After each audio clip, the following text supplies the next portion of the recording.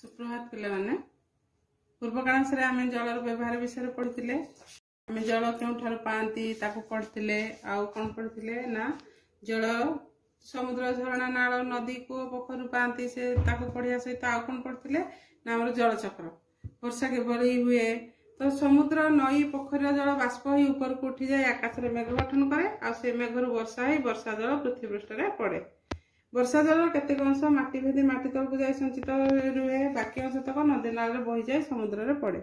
ଓ ପୋଖରୀ ଗାଡ଼ିରେ ଜମା ହୋଇ ରହେ ଏସବୁ ଆମେ ପୂର୍ବ କାଂଶରେ ପଢ଼ିଥିଲେ ତା ସହିତ ଆଉ ଗୋଟିଏ ଜିନିଷ ଆମେ ଜାଣିଥିଲେ ଜଳର ଅନ୍ୟ ନାମ ହେଉଛି ଜୀବନ କାରଣ ଆମେ ଜାଣିଛନ୍ତି କ'ଣ ନା ଗଛ ଲତା ପଶୁ ପକ୍ଷୀ ମଣିଷ କେହି ବି ଜଳ ବିନା ବଞ୍ଚିପାରିବେ ନାହିଁ ଏଣୁ ଜଳର ଅନ୍ୟ ନାମ ଜୀବନ ତ ଆଜି ଆମେ ପଢ଼ିଲା ଜଳ ଆମେ ସବୁ କେଉଁଠୁ ପାଆନ୍ତି ତାକୁ ଜଳର ଉତ୍ସ ଉତ୍ସ କ'ଣ ତ ଆମେ ଯେଉଁଠାରୁ ଜଳ ପାଇଥାନ୍ତି ତାକୁ ଜଳର ଉତ୍ସ କୁହାଯିବ ତ ପ୍ରଥମେ ଆମେ ଜାଣିଛନ୍ତି ଆମେ କେଉଁଠୁ କୂଅ ବା ନଳକୂଅରୁ ମାଟି ତଳେ ଥିବା ଜଳକୁ ସଂଗ୍ରହ କରିଥାନ୍ତି ମାଟି ତଳେ ଥିବା ଜଳର ଉତ୍ସ ହେଉଛି ଝରଣା ସେ କେମିତି ଆସିଥାଏ ମାଟି ତଳେ ଥିବା ଜଳ ବେଳେବେଳେ ଆପେ ଆପେ ଭୂପୃଷ୍ଠର ଫାଟ ବାଟ ଦେଇ ବାହାରକୁ ଉପରକୁ ଉଠି ଆସି ବହିଯାଏ ଏହାକୁ ଝରଣା କୁହାଯାଏ ଏଇ ଝରଣା ଜଳକୁ ମଧ୍ୟ ଆମେ ସଂଗ୍ରହ କରି ବିଭିନ୍ନ କାମରେ ଲଗାଉ ତେବେ ଆମେ ଏଥିରେ କ'ଣ ଜାଣିଲେ ଜଳ ମାଟି ତଳେ ଅଛି ମାଟି ଉପରେ ଅଛି ଆକାଶରେ ମେଘରେ ମଧ୍ୟ ଅଛି ଏଣୁ ଜଳର ଉତ୍ସ ଗୁଡ଼ିକ ହେଉଛି କୂଅ ପୋଖରୀ ସମୁଦ୍ର ହ୍ରଦ କେନାଲ ନଦୀ ଝରଣା ନଳକୂପ ମେଘ ଓ ମାଟି ତଳେ ଥିବା ଜଳ ତ ଆମେ ମାନେ ଜାଣିଲେ ତ ବର୍ତ୍ତମାନ ଦେଲେ ଜଳର ସ୍ଥାନୀୟ ଉତ୍ସ ତୁମର ସ୍ଥାନୀୟ ଉତ୍ସ କହିଲେ କ'ଣ ନା ତୁମର ସାହି ବା ଗାଁରେ ଥିବା ଜଳର ଉତ୍ସ ଗୁଡ଼ିକ ମନେ ପକାଇ ଲେଖିବା କୂଅ ପୋଖରୀ କେନାଲ ନଳକୂପ ଆଉ ନଦୀ ମଧ୍ୟ ହେଇପାରିବ ଆମ ପାଖ ଘର ଗାଁ ପାଖରେ ଯଦି ନଦୀ ଅଛି ନଦୀକୁ ମଧ୍ୟ ଆମେ ଲେଖିପାରିବା ତାପରେ ଅଛି গোটে চিত্র অছি দেখিবা চিত্রে কোণ অছি তুমি কোণ দেখুছ না বুন্দা বুন্দা হয়ে ট্যাপ অছে ট্যাপ্রু কোণ হচ্ছে বুন্দা বুন্দা হয়ে জল মৌকরে পড়ুছি যেতবে এইভাবে আমি মানে করতে কি হ্যাঁ বেড়ে বেড়ে আমি করে ট্যাপকু ঠিক ভাবে বন্ধ করতে না এই ফলরে কোণ হুয়ে না জল বুন্দা বুন্দা হয়ে তলে পড়ি থাকে এভাবে পরিস্থিতিরে তুমি কোণ করব আমি মানে কোণ করিয়া এভাবে পরিস্থিতিরে আমি মানে এভাবে পরিস্থিতিরে ট্যাপটি বন্ধ করিদেবা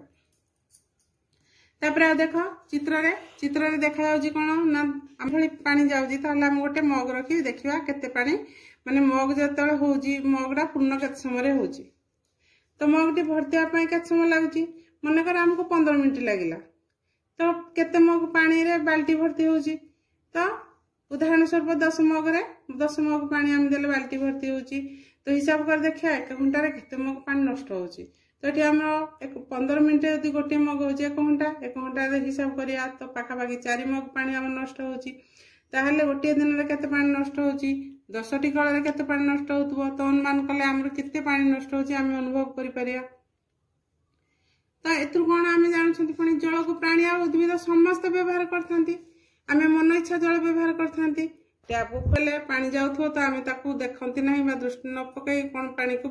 ଖୋଲା ଛାଡ଼ି ଦିଅନ୍ତି ତା ଦ୍ୱାରା କ'ଣ ହୁଏ ପାଣି ନଷ୍ଟ ହୁଏ ତ ଆମେ ମନ ଇଚ୍ଛା ଏଇଭଳି ଜଳର ବ୍ୟବହାର କରନ୍ତି ଫଳରେ କ'ଣ ହୁଏ ଦିନକୁ ଦିନ ପୃଥିବୀରୁ ଜଳ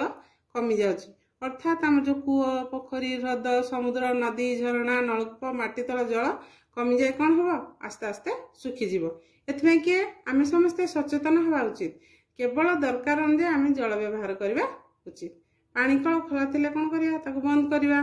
ଅଯଥାରେ ପାଣି ଢାଳିବା ନାହିଁ ଖୁବ୍ କମ୍ ପାଣିରେ ନିଜର ନିତ୍ୟକର୍ମ ସାରିବାକୁ ଅଭ୍ୟାସ କରିବା ପାଣିର ଅଭାବ ହେଲେ କ'ଣ ଅସୁବିଧା ହେବ ପାଣିର ଅଭାବ ହେଲେ ଆମେ ପାଣି ପିଇବା ରାନ୍ଧିବା ଗାଧେଇବା ଲୁଗା ସଫା କରିବା ଆଦି ଅନେକ କାର୍ଯ୍ୟ କରିପାରିବା ନାହିଁ ତାପରେ ଅଛି ଦେଖ ଚିତ୍ର ତ କେଉଁ ପାଣି ଆଉ ଥରେ କେଉଁ କାମରେ ବ୍ୟବହାର କରାଯିବ ତ ଆମର ଘର ବ୍ୟବହୃତ ହୋଇସାରିଥିବା ପାଣି ଯେତେବେଳେ ଆମର ଘର ବାହାରକୁ ଆସିଛି ଆମେ ତାକୁ ଯଦି ଗୋଟେ ଟାଙ୍କି କରି ତାକୁ ପାଣିକୁ ସଞ୍ଚୟ କରିପାରିବା ସେ ପାଣିକି ଆମେ ଆମ ବଗିଚାରେ ଥିବା ବିଭିନ୍ନ ପ୍ରକାର ଉଦ୍ଭିଦରେ ତାକୁ କ'ଣ କରିବା ପାଣିକୁ ଦେଇପାରିବା ତ ଏଇଭଳି ଭାବରେ ଆମର ଯେଉଁ ପାଣି ଆମର ବ୍ୟବହାର ହୋଇସାରିଛି ସେ ପାଣିକୁ ପୁଣି ଆମେ ପୁନର୍ବ୍ୟବହାର କରିପାରିବା ତ ଆମର ଏଇ ଜଳ ବିଷୟଟିକୁ ପଢ଼ିବା ଏବଂ ମନେ ରଖିବା